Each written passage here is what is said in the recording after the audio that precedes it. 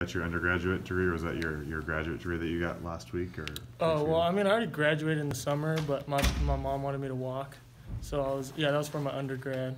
So yeah, they were they were pretty excited about that. What was the feeling? I mean, did you, can you compare graduating to, uh, to maybe catching a, a game winner or having a hundred yard game? What what are those two feelings like? Um, I mean, they're both pretty emotional moments, but I mean, I, I don't know. Football, like when you're on the field, you're just in the moment. You just got all that adrenaline going. You're just playing your game. But I mean, uh, in graduation, you're able to sit back and be like, "Wow, this is like really happening." So, I mean, they're both pretty emotional moments, but yeah, it was it was pretty fun.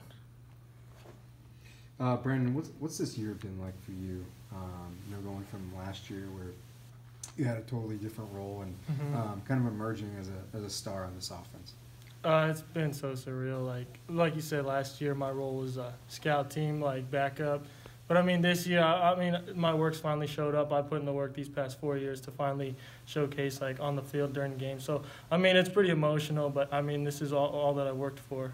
What kind of work went into it? So, because I'm sure it was a lot more than just Oh the, the physical work in the off season, right? Yeah, it's really a lot of it was mental too because like coming as a walk on from a junior college, there's like really like mentally tough like situations. Like before, I was about to uh, give up and go to another school or just like continue my education somewhere else. But like that, I mean, it was really tough. But I mean, I had to just come o- overcome that mentally, and my physic physicality was all there because I mean, I've been playing football for a while, so that wasn't really too bad, too big of a problem.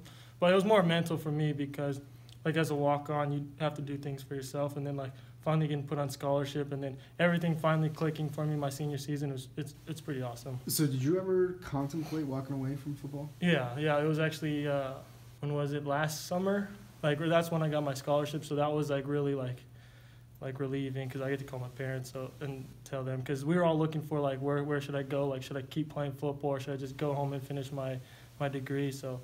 Uh, yeah, it was a pretty tough situation. Was there anybody uh, or, or maybe something that uh, you know kept you going before Um, the scholarship? Yeah, my, my parents, my family. I mean, I'm over here working because both my parents didn't go to college, and my sister, she's the first one in our family to go to college and finish. So it was my, my parents, my family, my sister was a big, uh, big inspiration. Is that- Um, sorry, go ahead. Does does that make it even more special to be an academic All-American with, with the, you know, both your parents not going to college and kind of, kind of setting a trend for the family, maybe? Oh yeah, definitely. I mean, this is what I've worked for. So I mean, if I'm gonna do it, I'm gonna do it big. Did you, did you have that as, as a goal before the season, becoming an academic All-American? Did, did you know it was possible, or did you know the requirements or anything like that? No, I was just really just trying to keep my head down in the books and just try to be the best I can in the classroom. I, I didn't even really know it was a thing, and then like um, Bill called me the other day, and I was like, I thought he was talking about first team Pac-12 academic, and then like I told my family and my godmother, and they were like, well, it's it's all all all, um, all American, and I said, wow, like oh, I thought it was just first team Pac-12, and they're like, oh, this is a pretty big thing. I was like, oh, that's pretty awesome. So. How did you get in, uh, interested in uh, uh, uh, management information service? Well, t- actually, I was debating between M- MIS and finance, but I don't know why I keep saying MIS because my, my degree's in finance. But like, I was tr- interested in technology and like finance and money, so that's what really got my interest. So my yeah, my degree's in finance. Did, did any of your school projects uh, intersect with football? Did you, did you apply any of that, your projects to football?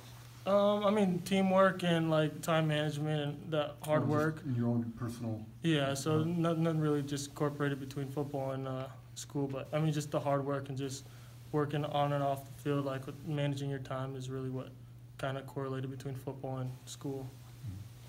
I know you mentioned all the hard work you've put in. Coach Leach a few times this year has mentioned that you know you're probably not the most athletic receiver Mhm. on the team, but he does call you reliable and says uh, you know you're at the right spot at the right time consistently. What is it about that? Uh, I guess what is the secret to the success? It's consistency, just like like in the classroom too. You just got to keep going and going and just like doing the same thing over and over as perfect as you can. So really, consistency is what got me here.